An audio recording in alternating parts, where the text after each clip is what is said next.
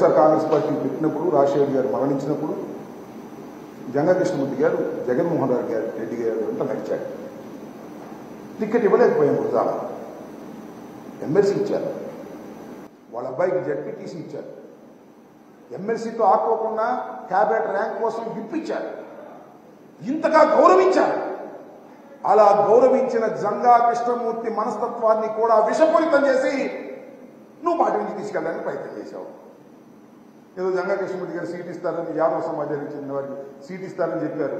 అది కూడా ముంచారు కదంటయ్యా శ్రీకృష్ణదేవరాయ గారు. నీ మాట నమ్మి జంగా కృష్ణమూర్తి యాదవ సమాజానికి చెందినటువంటి వ్యక్తి కూడా మునిగిపోయేటటువంటి పరిస్థితి తీసుకొచ్చి మీకన్నా చీటర్స్ ఎవరున్నారు? జగన్మోహన్ రెడ్డి గారు స్ట్రైట్గా చెప్తారు. ఇలా మోసాలు చేయాలనే విషయాన్ని దయచేసి గుర్తుపెట్టుకోమని మనం చేస్తున్నాం ఇలాంటి రాజకీయాలు కుళ్ళు రాజకీయాలు చేసి లావు శ్రీకృష్ణదేవరాయలు గారు అంటే తులసి మొక్క అంటే మేము గంధాయి మొక్కలు అంటే నేను మనం చేస్తున్నా లావు శ్రీకృష్ణదేవరాయలు గారే కాదు.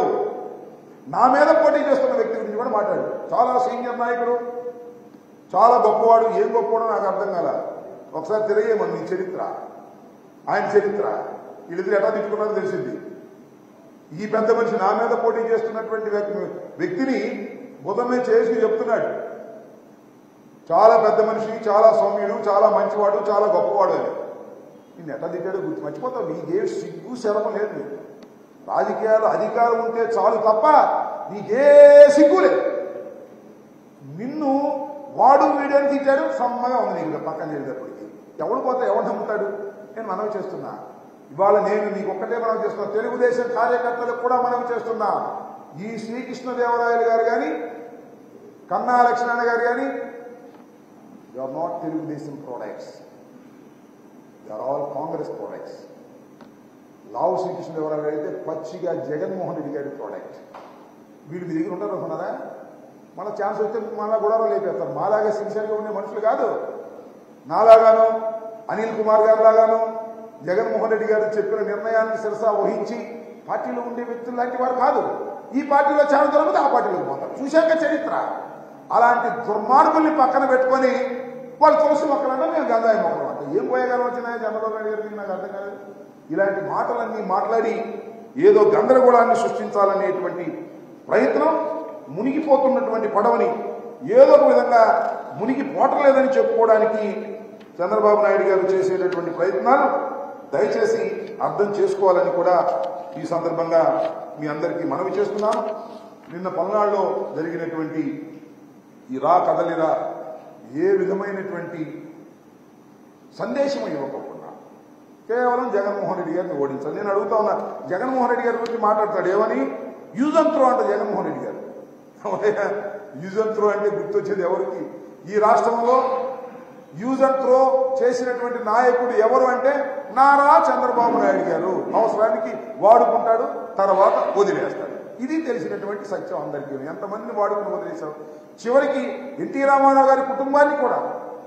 ఏదో బాలకృష్ణ ఏదో నీ బంధువు నీ కొడుకు పిల్లనిచ్చాడు కాబట్టి ఉండగాడు కానీ మీ తమ్ముడిని ఏం చేశావు? హరికృష్ణ ఏం చేశావు? నీ తోలుడిని ఏం చేశావు? వీళ్ళందరినీ వాడుకుని వదిలేసి అధికారంలోకి పోయిన వదిలేసి తొక్కేసినటువంటి యూజ్ అండ్ త్రో పాలసీ తెలిసినటువంటి వ్యక్తి భారత రాజకీయాల్లో ఎవరైనా ఉన్నారు అంటే అది నారా చంద్రబాబు నాయుడు గారు తప్ప మరొకరి కాదని మనం చెప్తున్నాం. అదేమంటే హూ కిల్డ్ బాబాయ్? అని అడుగుతా ఉన్నా. Who killed Kodela? చెప్పు సమాధానం. Who killed Kodela?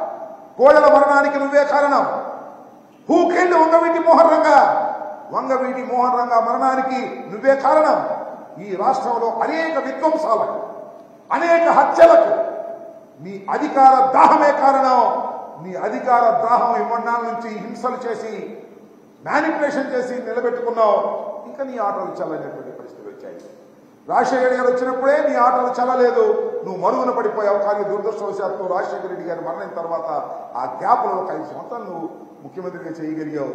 ఇంకా జగన్మోహన్ రెడ్డి గారు వచ్చిన తర్వాత స్టైల్ పాలిటిక్స్ ఆడేటటువంటి వ్యక్తి జగన్మోహన్ రెడ్డి గారు కుళ్ళు కుతంత్రాలు లేకోకుండా ఆడేటటువంటి వ్యక్తి- జగన్మోహన్ రెడ్డి గారు ఉన్నది ఉన్నట్టుగా చెప్పే వ్యక్తి జగన్మోహన్ రెడ్డి గారు మ్యానిపులేటర్ కాదు ప్రజల ఆశీస్సులతో ముందుకెళ్ళి ముందుకెళ్ళేటటువంటి వ్యక్తి జగన్మోహన్ రెడ్డి గారు.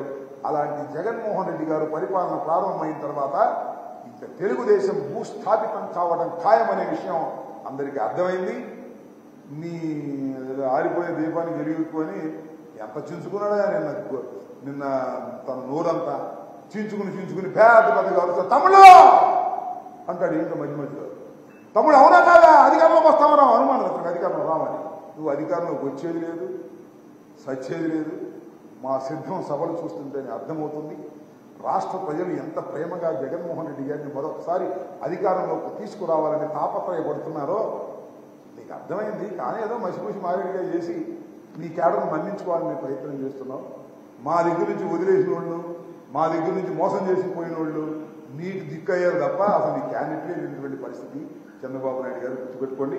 ఈ రాష్ట్రంలో మళ్ళా తిరిగి మీరు అధికారంలోకి రావడం అనేది జరగనటువంటి పని అని ఈ సందర్భంగా నేను చెప్తూ చాలా మాట్లాడుతున్నాడు. వైసీపీకి ఉండాలని పల్నాళ్ళు ఎలా కాపురం చూస్తా. ఏమో కాపాడు కూడా చేసుకొని జమ్మని అధికారంలోకి వస్తే. నువ్వు అధికారంలో రావు అది వేరే విషయం. ఏదేదో పెద్ద పెద్ద భింకాలు పడిపోయేటువంటి పరిస్థితి ఆ పవన్ కళ్యాణ్కి నీకు పిచ్చెక్కినట్టుంది. ఏదో తగాదా కోర్టులాగా మాట్లాడుతూ ఉన్నారు. మీ టైం అయిపోయిందనే విషయాన్ని దయచేసి గమనించాలని ఈ సందర్భంగా మీ ద్వారా వారికి తెలియపరుస్తున్నా ఏమని? ఆ తాకట్టులో సచివాలయం. జగన్ సర్కార్ మరో ధా రుణం. ఏం పోయగానే వచ్చినాయా మీకు? అర్థం పర్థం ఉందా? పచ్చి అబద్ధాలు. ఆంధ్రజ్యోతి ఈనాడు పచ్చి అబద్ధాలు. పచ్చ అబద్ధాలని పచ్చి అబద్ధాలు రాసి ప్రజల్ని నమ్మించాలనేటువంటి ప్రయత్నం చేస్తున్నారు. ఒక ప్రచారం గోబెల్ ప్రచారం అంటారే? ఆంధ్రజ్యోతిలో రాయటం ఈనాడు క్యారీ చేయటం టీవీ ఫైవ్ చెప్పటం ఈనాడు చెప్పటం చంద్రబాబు నాయుడు మాట్లాడు ఇదే అన్యాయం అక్రమం సెక్రటరీ సెక్రటేరియట్ని తాకట్టు పెడతారా? ఏం పోయగలుగుతుంది పచ్చి అబద్ధాలు రాస్తారు సెక్రటేరియట్ తాకట్టు పెట్టిన మాట అవాస్తవం.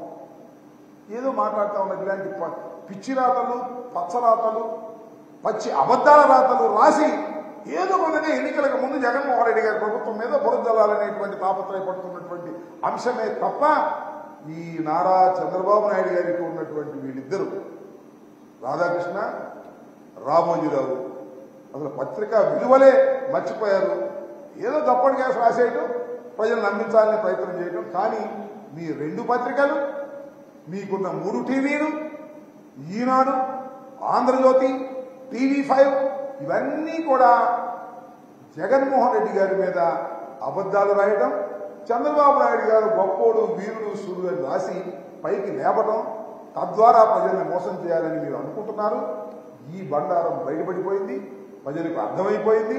కాబట్టి జగన్మోహన్ రెడ్డి గారికి వ్యతిరేకంగాను చంద్రబాబు నాయుడు గారికి అనుకూలంగాను ఈ పత్రికలు ఏమి రాసినా ప్రజలు నమ్మడానికి సిద్ధంగా లేదు. కాకపోతే వాస్తవాలు ఏదో రోడ్డు ప్రమాదం జరిగింది ముగ్గురు చనిపోయారు. అక్కడ రైలు టయానికి రాలేదు. ఇలాంటి వార్తలు అయితే నమ్ముతారు తప్ప రాజకీయ వార్తలు వాళ్ళు రాసే రాజకీయ వార్తలు నమ్మేటటువంటి రోజులు పోయాయి పోగొట్టుకున్నారు. పచ్చి అవాస్తవాలను ఈ విధంగా రాసి మీరు సొమ్ము చేసుకోవాలని ప్రయత్నం చేయటం చాలా దురదృష్టకరమని ఈ సందర్భంగా నేను చెప్పదలుచుకున్నాను.